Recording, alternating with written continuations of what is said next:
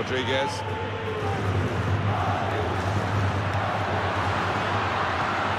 Now Kompany. Toure. Nasri. Yaya Toure gets it back.